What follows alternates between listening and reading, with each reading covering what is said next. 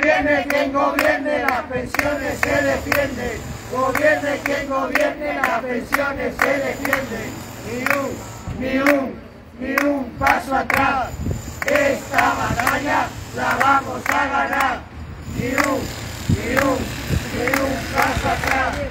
Esta batalla la vamos a ganar.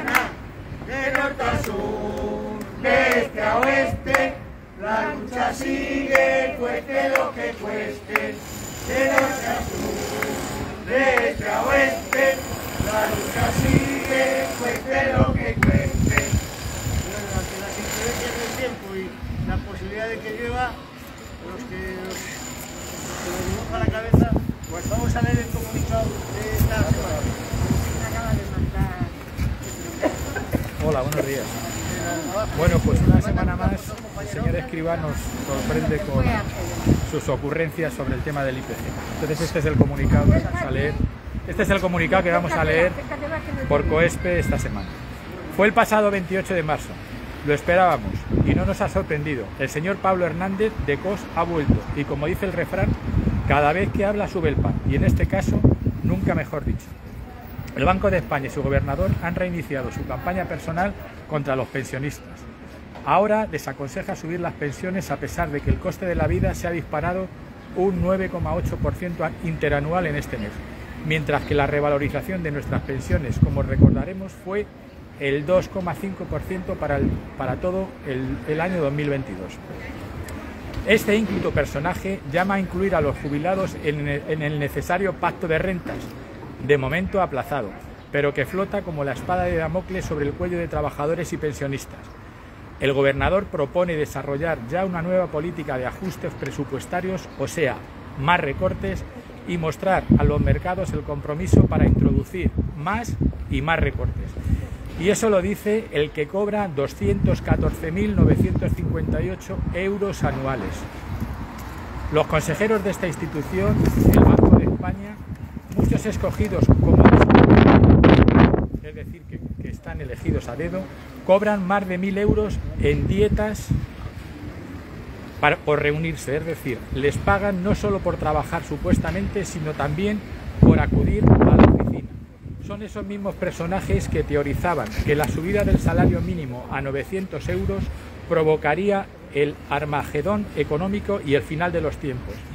Es el mismo Banco de España que le parece bien que el presidente de la rescatada Bankia se triplicara el sueldo cuando se fusionó con Caixa. El señor Hernández de Cos es tan buen gestor que ayudó a que la deuda pública se haya disparado al 120% del Interior Bruto en 2020. Era responsabilidad del gobernador el control del banco malo. Su enorme desidia y eficacia añadió 34.182 millones más al déficit público. ¿De quién depende este señor? ¿Quién le paga? ¿Quién es el que paga ese desafuero? Pues nada más y nada menos que la ministra de Asuntos Económicos y, Transformación Digital, la señora Nadia Calviño. Es la misma ministra que racanea un euro a los pensionistas, pero que en 2019 permite que todos esos consejeros del Banco de España se suban un 5,8% el sueldo y un 7,3% los planes privados de pensiones que disfrutan. ¿Y todo para qué? Aún estamos esperando un informe riguroso y transparente de esta institución de cuánto ha costado el rescate de la banca a las arcas públicas a los españoles de a pie. Pero eso no es todo. Ahora inician una nueva campaña. Escribá se comprometió a que los pensionistas no perdiéramos poder adquisitivo. Todos sabemos, lo hemos demostrado, que sus previsiones eran falsas. Pero Escribá porfía, pretende ahora, con la excusa de la guerra, acelerar la privatización de las pensiones. Pero tiene un problema, la inflación se le ha disparado nuevamente. Pretende otra vez cambiar las reglas de juego a mitad de partido. Cambiaron la fórmula del cálculo de la inflación del IPC interanual al IPC medio porque así les convenía, había de pagar menos. Ahora nos quieren volver a cambiar las reglas de juego y quieren aplicar el llamado IPC subyacente. En síntesis, eso consiste en que en el peso de la inflación no entren ni el aumento de la gasolina, ni la luz, ni el gas, ni los transportes, ni el teléfono o los productos alimenticios no elaborados. La realidad es que este mes de marzo el IPC interanual ha escalado al 9,8%, mientras el IPC subyacente está el 3,2%. Esta es la trampa, estas son las cuentas del señor Esquiva. Gobierne quien gobierne. Las pensiones se defienden. Gobierne quien gobierne, las pensiones se defienden. Gobierne quien gobierne, las pensiones se defienden. Ni un, ni un, paso atrás. Esta batalla la vamos a ganar.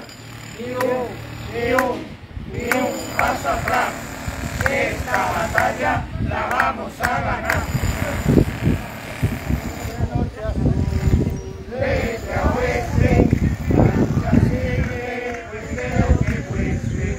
De norte a sur, desde a oeste, la lucha sigue, cueste lo